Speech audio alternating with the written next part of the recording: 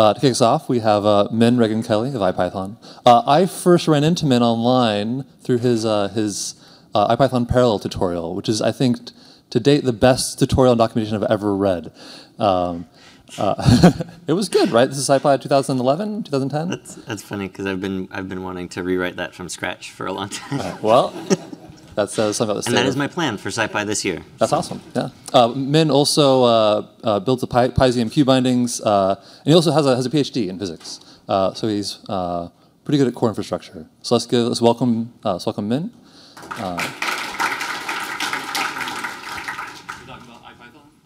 Yeah. All right. So I'm, uh, I'm glad to be here at PyData. PyData is always is always fun, especially for those of us who work on IPython. Um, it's fun to see everybody doing new and new and cool stuff with IPython. Um, yeah, I, I recently graduated in, in plasma physics, and now I get to, thanks to the Sloan Foundation, um, I, along with a few other folks, get to work on IPython full time, which is which is pretty awesome. So I'm going to talk a little bit about um, what's what's new in IPython and recent release, and, and then what's coming kind of on the horizon for people to be excited about. So um, at, on April 1st, we cut uh, IPython 2.0, the first major release uh, in six months, and there there are a few uh, major new features to improve the usability of, of the notebook. The, the first piece of that is if you've used the notebook uh, in 1.0, one of the things that was kind of annoying is you had to start the notebook. Every, anytime you wanted to use notebooks in a different place, you had to start another notebook server um, in that directory and use uh, and open the notebooks there. Uh, so one thing that we have that we've added is simple directory navigation in the notebook dashboard. So this is my this is my notebook dashboard. In addition to the old notebook list, I have a list of folders that are just you know, folders on my machines, so I can navigate to my presentation, which is my PyData presentation. And then I can see the notebooks that I'm working on. In addition to this, now that you can navigate, it's easy to lose track of what notebooks are open, what kernels are running. So you have this running tab that shows you all the notebooks that you have currently running, and you can shut them down. So it's easier to clean up, clean up after yourself now that. So part of the goal of IPython is to kind of fill all the gaps that you need to restart the notebook server for. Ultimately, we really want there to only be um, one notebook server running um, ultimately on a machine at all for all users. Um, but right now, we, we want to get to the point for one notebook server for, for one user and let it let that be uh, what you use for, for everything and not have to restart the, the server. So the, the kind of flagship feature of, of IPython 2 is these interactive widgets. And on Friday, uh, Brian and John gave a tutorial uh, illustrating some of the some of the use of interactive widgets and how you can use them for your own work. Um, and uh, Rob Story yesterday gave a great talk uh, showing various visualization things, and one of those was doing cool stuff with uh, with the interactive widgets. Cool stuff, cooler stuff than I'm actually going to show you. But um, so the interactive widgets let you do things. Um, so in, in, in IPython, generally, you know, you run code, you get output. Here's a simple function that uses SymPy to factor uh, x to the n minus 1. Well, what if I want to factor that for various values of n? You just use this interact function, um, and then I can interact with, fact with this factor it function for values of n between 2 and 40. So now that's x to the 21, and I can just move this slider, and it calls that every time I, I change the value of n, it calls the function again, and then I get, I get the new display. So this is really useful for, say, you know, you want to do some filtering on a signal or something like that, and you, you don't necessarily know what parameters you want to use. This lets you really simply say, I, I know I want these parameters in some range. Let me just get it started and then tweak the sliders and, and see you know, what values I actually want to use. Interact also works as a decorator. So this is a function that, uh, that illustrates the, the beat frequency between two frequencies. So when you have two frequencies that are near each other, you get um, uh, an associated frequency of the difference that you can hear, kind of a pulsing sound. So, and this is using the IPython HTML5 audio display. So I just take two, two frequencies, move these sliders, and then it publishes HTML5 audio after creating sine waves with NumPy. And we can hear, hear beat frequency and change the frequencies. You Get a slower beat frequency. And we can also plot. You can actually see, see the frequencies being plotted and the beat frequency between them. That's updating a bunch. And I can just turn, turn that plot on and off with a little checkbox. We've got lots of widgets.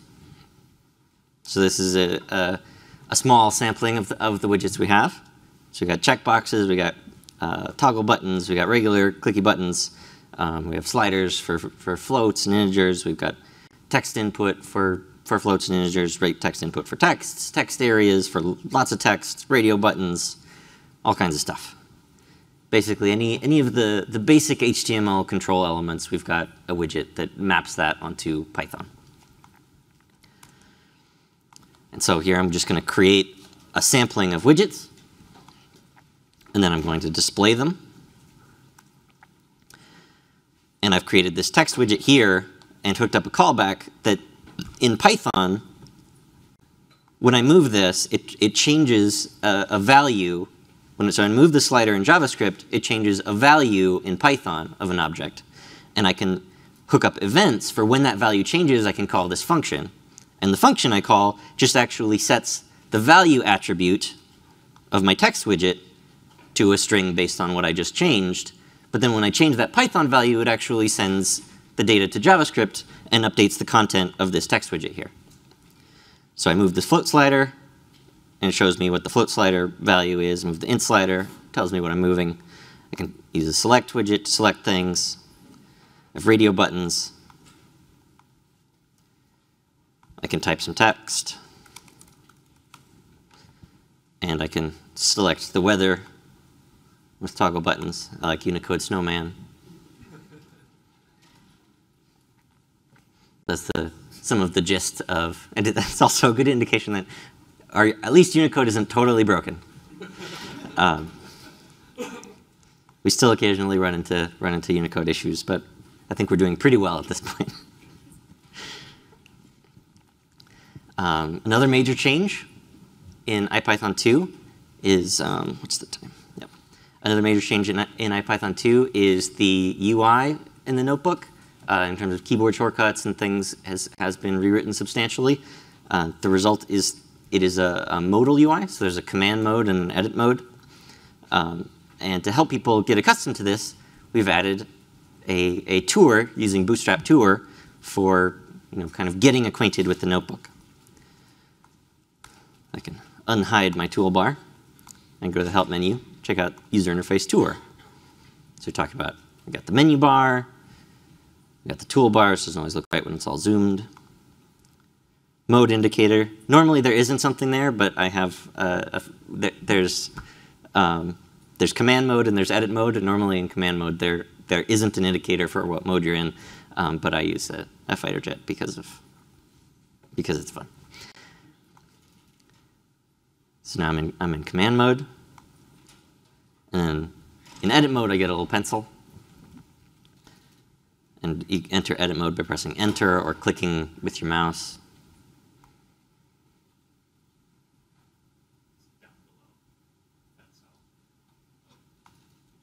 Hmm. Okay. Yeah, and the tour kind of shows you how to do simple things. One of the nice things about the way we've rewritten it, um, in addition to fixing uh, various various bugs we had with the in interaction with jumping output and, and things, is now it is a lot easier to customize the behavior of the notebook. So this is some JavaScript that is executing in the notebook. I'm, I tell the kernel to publish this JavaScript, and then the front end actually executes this JavaScript in the page. And I'm going to on this, I'm registering an event to log all the keys I press so you can see what I'm doing without looking at my keyboard. Um, and then I'm going to add, this is a, one of the common feature requests we get on IPython is, why isn't there a keyboard shortcut for run all? I want a keyboard shortcut for run all. And um, we've generally said, you know, no, we don't, we don't, we can't have a keyboard shortcut for everything, especially in um, 1.x because of the the way keyboard shortcuts work. There was a very limited um, space for for keyboard shortcuts, so we, we couldn't have a keyboard shortcut for everything because it would uh, the the namespace for available shortcuts was uh, precious. And the great thing about uh, the custom keyboard shortcuts in 2.0 is we can say, no, we're not going to add a keyboard shortcut for run all, but you can. And so if you want a keyboard shortcut for run all, you just add a little code to your custom JavaScript, and then you can press Control R and it'll run all your cells. And, and then we don't have to be precious about, um, about what shortcuts are available and collab fighting with the browser because users can say, you know what, when I press this, I don't care about what my browser wants to do, what my OS wants to do. I, I just want, let me take this shortcut and, and use it to, to run cells. You can also change. There are, there are certain, certain, a certain class of users um, when switching between edit mode and command mode um, might prefer uh, slightly different shortcuts. And so you can change. In, in IPython, switching, so you enter edit mode by you know, selecting a cell and you press enter. Um, and then to leave edit mode and go back to command mode with the shortcuts is you press escape. But some people would prefer, say, I to enter edit mode. And some people might prefer uh, control open bracket to uh, go, go back to command mode.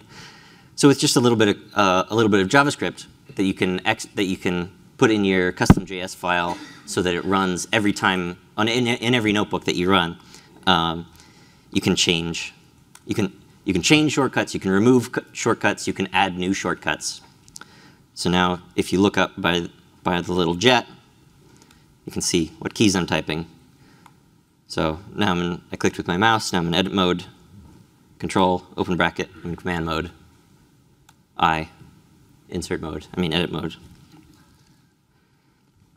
So it's, it's a lot easier to customize the, the notebook UI, uh, which helps us at IPython a lot because now we don't need to argue about everything that's in IPython because we don't need IPython to be everything for everybody. We need IPython to at least be a decent starting point and then be able to point people in directions to customize IPython to suit their needs. With the increasing amount of JavaScript development in doing things with IPython, front-end uh, visualization with tools like MPLD3 um, and Vincent and Bokeh, you, you, increasingly you need to get JavaScript on the page, which means increasingly you need to install some JavaScript. You don't want to be loading everything from a CDN all the time. So in IPython 2, we've added a notion of notebook extensions. So if I just look at files I've got this uh, just demo JavaScript file, which is a, a JavaScript file that um, is from my notebook extensions on GitHub. I can look at it's a. Uh, it looks like the the kind of the top of a a standard um, RequireJS loaded loaded file, and then we've added. Uh, make sure make sure it's not already there. So we've added this install NB extension entry point. So this file is just on disk, and I'm just calling out to the command line ipython install nb extension. And what that does is it copied the JavaScript file in the folder into this special nb extensions directory. So if you're familiar uh, with IPython, IPython has a notion of extensions, which are Python modules that you can add to extend the functionality of IPython. And they're just regular Python modules that define one function that I, that when you load an extension, it imports that module and then calls that function. And that function can customize IPython behavior. This includes uh, things like the R magic or the, um, the SQL magic, various things for extending uh, IPython's behavior. So we added a notion of JavaScript extensions for the notebook, extensions that should modify that can modify IPython on the JavaScript side. So similarly, similar to the load extension uh, magic on the Python side, I can call uh, load extensions JavaScript function. And this is, again, something you put in custom JS. So you install an extension, it's available to all your notebooks, but it's not loaded on all your notebooks. That's got to be something you do in notebooks or in profiles. And then if I put this in my custom.js or call it here, if you, if you look up in the corner, uh, note the absence of anything next to this, uh, this code select. Um, if I load this extension, I got a button. What does that button do? It looks like the standard share icon. If I hover, it says share notebook as a gist. I click it. Something may or may not happen. Yes, okay. It's always a risk. Um, and now I have this link. So I can click that link, which will take me to NBViewer. So this is, now I'm at NBViewer. This is a public uh, website for sharing notebooks. And now I have the notebook I'm currently working on published as a gist. So that's what, this is the kind of the category of things you can do with, with extensions. You can add buttons, you can do all kinds of um, customization of IPython.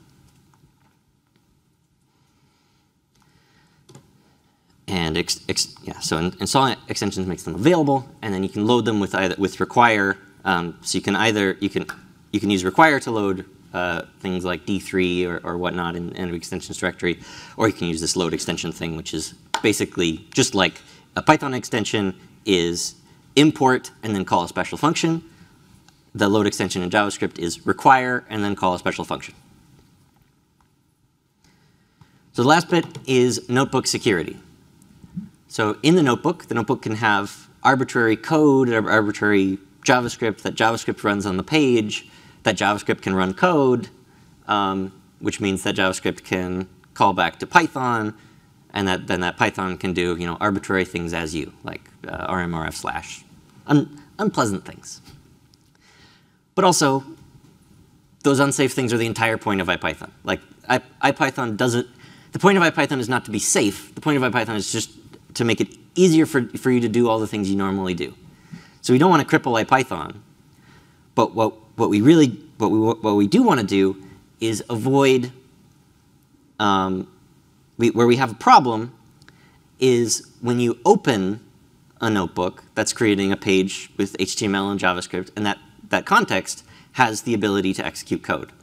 What we really don't want to do is if someone writes a notebook, says, hey, here's this cool notebook, and you open it, you haven't you haven't run any code. You just open it, and then it executes code. And all you did was look at it. You thought you were just looking at a thing, and then um, code executed that, that you, you didn't ask to happen.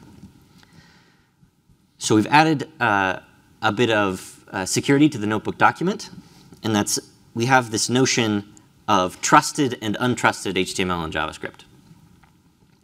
And we never want to run untrusted we never want to load untrusted HTML onto the page, and we, we, we never want to execute untrusted JavaScript, which means that we sanitize HTML when we add it to the page and we, that we don't trust. And the gist of, of the model is if you didn't ask for it to happen, then it's not trusted. So, and the way we communicate this is with uh, a signature uh, on the notebook document. So if I write a notebook and give it to you, it won't be trusted. But if you execute, each cell if you hit Shift Enter to execute the code, that HTML that comes back, that's trusted. You ask for that to happen. It's it's on you if it does something uh, unsavory. Just like you know, running running a Python script. Like you you grab a Python script, you open it. It's safe to look at it. Once you trust it, you run it. It can uh, at that point it can do whatever. And we we want to get as close to that as we can. One of the trickier parts of this is we consider Markdown, the Markdown areas like this, we consider those untrusted, always. And that, that, uh, that does limit what, what can be done in a markdown cell at this point. We're, we're working on kind of what exactly our security model should, should do with that. And, and we, we handle all of the sanitization uh, with uh, the Google Caja uh, JavaScript sanitization library. So what's coming in the future uh, for IPython? So first and foremost, um, starting a Python notebook with the Pylab flag was is as, as of master no longer works, and this is because there has been well, this is because of a variety of reasons. Um, one, decoupling, loading a bunch of stuff. So Pylab loads a bunch of stuff into the interactive namespace, and that can cause a great deal of confusion for users because it matters how the notebook server was started. How um, how the server was started can affect how notebooks behave, and that's a problem, especially when you're sharing notebooks. Or you know, if I started the notebook with Pylab once and then I started a different notebook server without Pylab, I run one notebook from the other, or I run I, I run one notebook and then I run it later with different startup flags, and it behaves totally differently. Um, so I think it's generally um, not a great idea to, to have that kind of thing at startup. But also, as we increase support for uh, non-Python kernels, adding specifying flags for how the, the Python subprocess where execution happens um, makes less and less sense. So we're just you only specify you only configure the server at the IPython notebook command line, and then you any any configuration of the kernel happens elsewhere. And part of that is part of that effort is better support for non-Python kernels. Uh, so you there already right now are several kernels uh, in in various languages. If you want to use the notebook, but you don't actually want to use Python, which may be a smaller fraction of this crowd, but um, you can you can use the IPython notebook with a variety of languages, and but it's a, we're, we're and we're working on improving that situation. So here's a, a Julia example, simple Fibonacci, and then, as is always fun, this is using matplotlib from Julia to to create a, an inline plot in that Python notebook.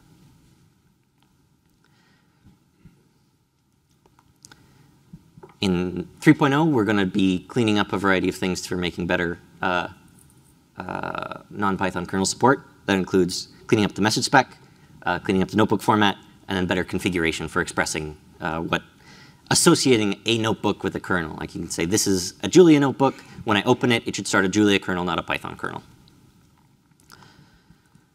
And this is the start of uh, the start of this spec is a simple JSON file saying how you start, you know, some, some metadata about the kernel, and then the important piece is how you actually start the kernel subprocess.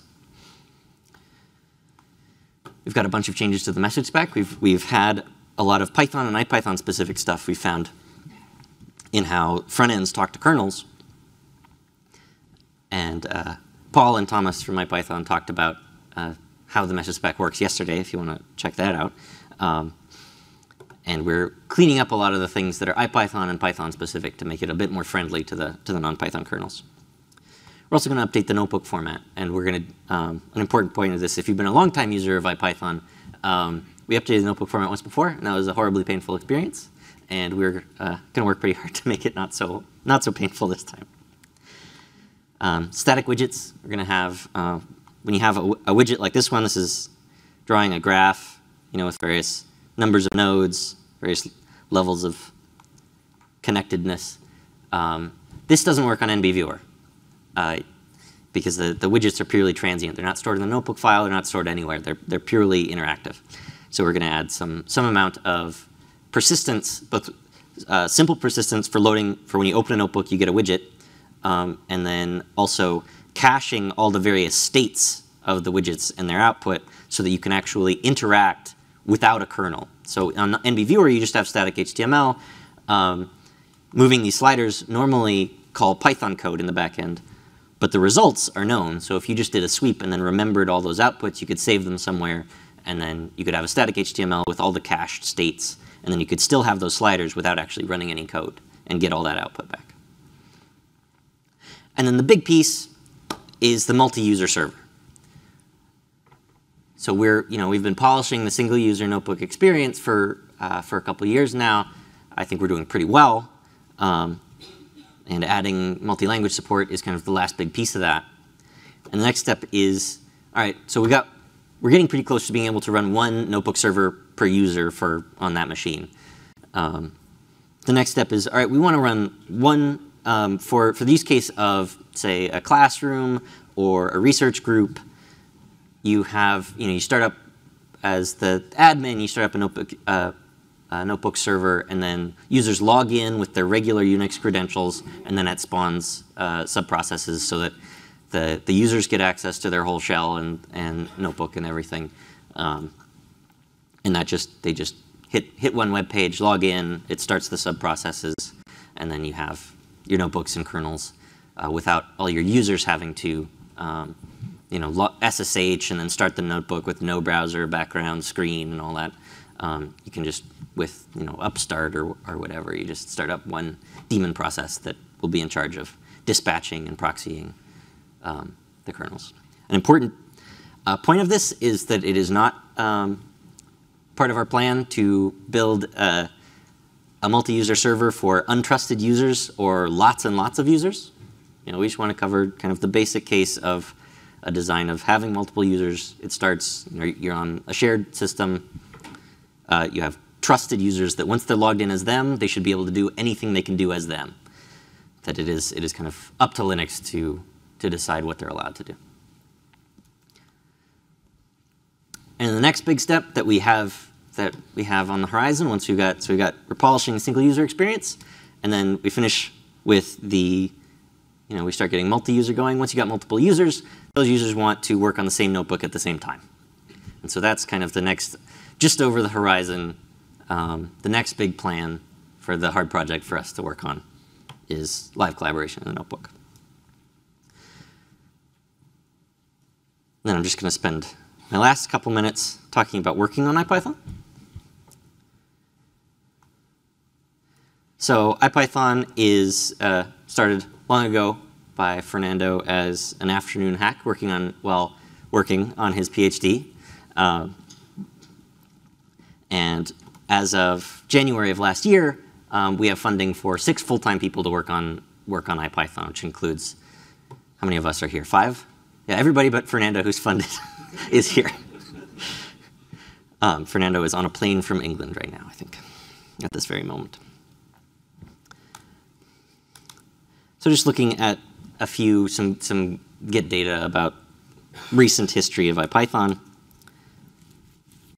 So this is just looking at summarizing uh, recent releases. So 0.11 was the first kind of um, partially funded uh, release of IPython, where Brian was funded by Enthought to kind of to refactor, to clean up a lot of the afternoon hacky bits of, of IPython and allow and set the, the groundwork for this multi-process architecture that is the uh, underlies the notebook.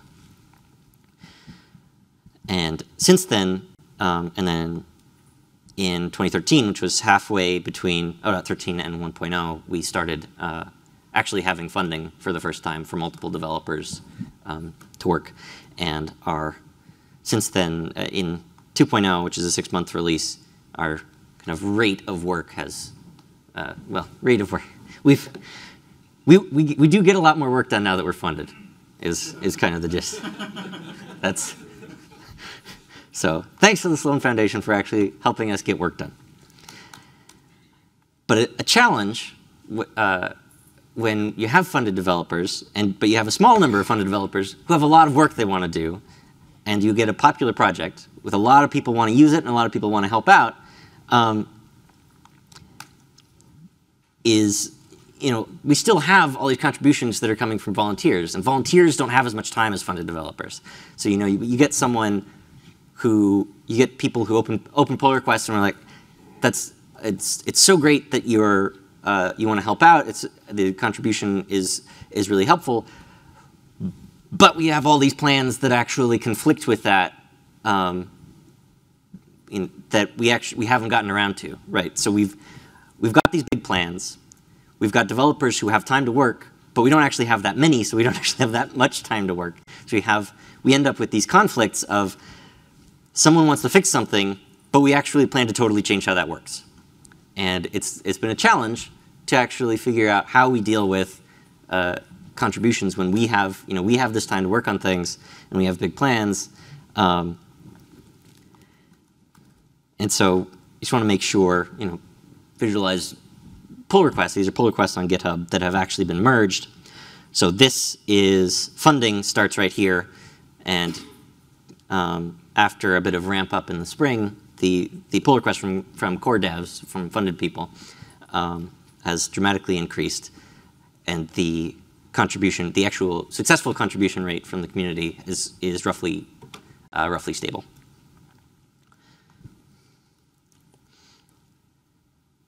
And the So the, the fraction of pull requests was from community members was roughly half, but the as core dev development, core dev work has dramatically increased, and uh, community development has roughly stayed flat.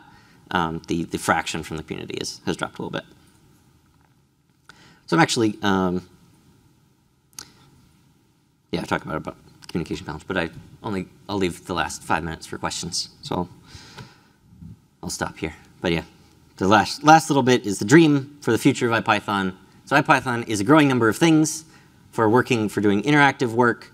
Um, it makes sense at this point that it's all one big project because every up so far every update would be a breaking change that would we would need to release every piece of IPython. If IPython were several pro several projects, we would need to release them all at once because they're not um, intercompatible um, with you know we, we, we make these in, internal private API changes um, every release, and so it it, would it doesn't make sense at this point to um, to break up IPython as we're still since we're still figuring out so much, but we're we're getting closer to kind of understanding the, the boundaries between these pieces.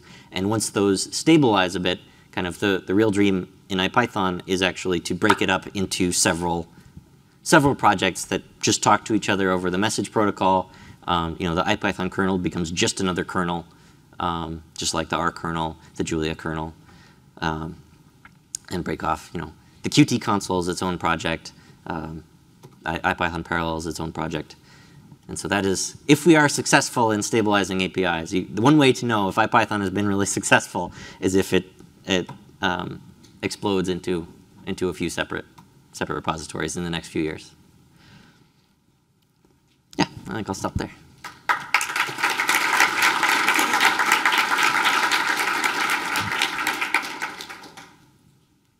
Any questions? So if someone wanted to contribute to IPython, what is the best method that they should use? The best method, um, the best method to use for contributing to IPython is to look at open issues um, and find. So we, we mark some bugs as like quick fix or um, that are or sprint friendly. Those are those are things. Yeah, we, we have labels on issues that are kind of meant to be smallish, easy things to fix that, fix that don't need to touch all kinds of stuff. And so that's look through some of those issues. Actually, a really helpful way. So we've got you know these almost 800 issues. Is to look at issues and and see do they are they still actually true? Does, does this have we fixed this issue? Um, and you know ping, you know look for write test cases, uh, regression tests. You know find an issue, actually write a test so that it's easier to know whether a bug's been fixed. If it has been fixed, just make a PR with the test and close that issue. You know that one of the challenges with having lots of lots of open issues is we don't always we don't always link up bug fixes to the issues that they actually fix. So there there are probably of of the I think 750 780 uh, currently open issues. I would say there's probably at least one or 200 that should be just closed right now. And we, we just don't know what they are.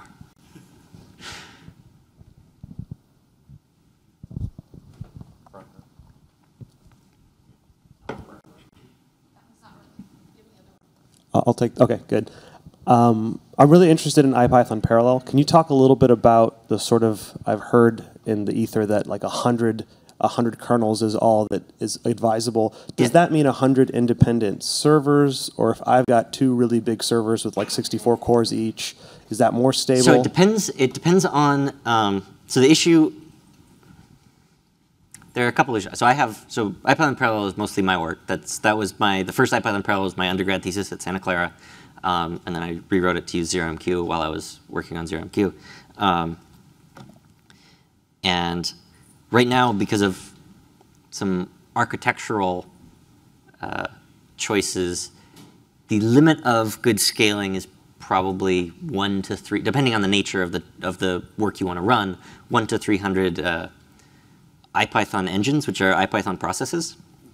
And the number of those that's appropriate depends on what work you want to do. So if if your work is, um, you know, nice, uh, you know, C-level multi-threaded um, array operations, you might want one IPython engine per uh, physical CPU with you know 16 cores or something. And the, the scaling uh, limit is affected by the number of IPython engines. So it depends on the nature of your, of your individual uh, task that you want to do in IPython parallel. So if it's all like GIL holding effectively single threaded, then you generally want one engine per, uh, per core. Um, or even if it's IO bound, maybe one and a half engines per core. Um, but if you've got good um, multi-threaded uh, extension code, maybe you want you know one per chip or one per physical machine. It, So, um, can you talk a little bit about the memory creep issue and, and dying processes? If you if you launch hundred kernels and one dies, does it respawn? If if it stays open for a bunch bunch of tasks, does it kill itself and, and release the memory? so you can IPython doesn't handle that. Uh, it, so the cluster behaves fine if an engine dies. So you can you can add and remove engines at any point, and the the IPython parallel architecture handles that just fine. Um, what it doesn't do is um, so IP Engine just starts a process, listens for messages, and handles them. If you start IP Engine with supervisor or something, you can make it kill it if it gets too big and respawn when it dies. You, so um, IPython doesn't do that for you, but you can easily enough do that with IPython. Great. Um, we need to wrap up now for the next talk. Can everybody give Min a huge hand?